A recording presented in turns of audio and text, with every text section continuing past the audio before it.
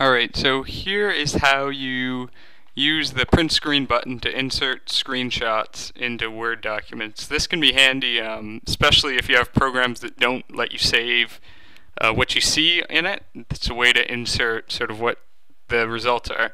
So as an example, say I wanted to send this page about goats and I want to get a screenshot because I want my browser bar in there for whatever reason. Um, so to do this, you need the print screen button. And if you have a regular keyboard, it might just be a single button like this that you hit. Um, if you have a laptop, it potentially is a separate button. Again, you just hit that to print screen. More likely, though, it's shared with another button. Like my laptop here, I have to hit the function button and then the end button, which is also print screen. So you hold down function and hit whatever button that is there. Um, so let's go back to the Goat page and I'll hit print screen here and that saves it to the clipboard. So you can just paste it into any application like Word, say. The only thing is it's your entire screen and you maybe don't want that. So in Word you can crop it out, go to Picture Tools Format, and hit Crop. Uh, if you have a different version of Word it might be in a different spot, so you can crop it down to just what you want.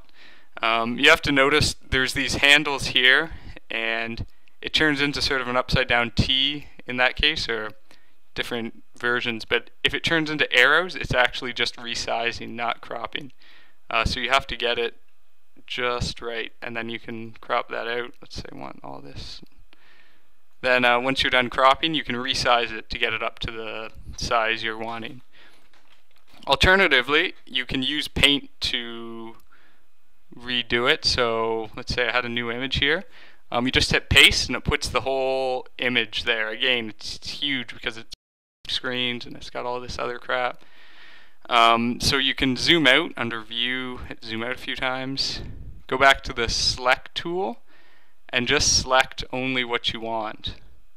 Um, and then use control C or copy to put that on the clipboard and paste it in in Word. And again, that's only the section you want.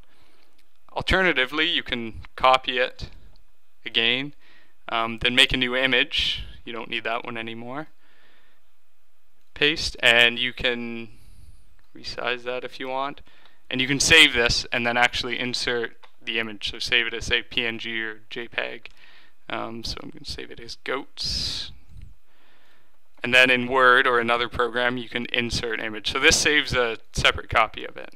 There you go. Um, finally if you have Office 2010 it comes with OneNote or you have OneNote separately um, and OneNote has a shortcut to make this even easier. Uh, you just have to change under options the screen clippings options, send it to the clipboard only. And what this does is when you hit the screen clipping button, which is hold down the Microsoft Windows key on your keyboard and hit S, um, it enters this screen capture mode where you can just select part of it and it only copies part of that to the keyboard. So there you go. That's probably the fastest way to do it because it lets you directly copy and insert.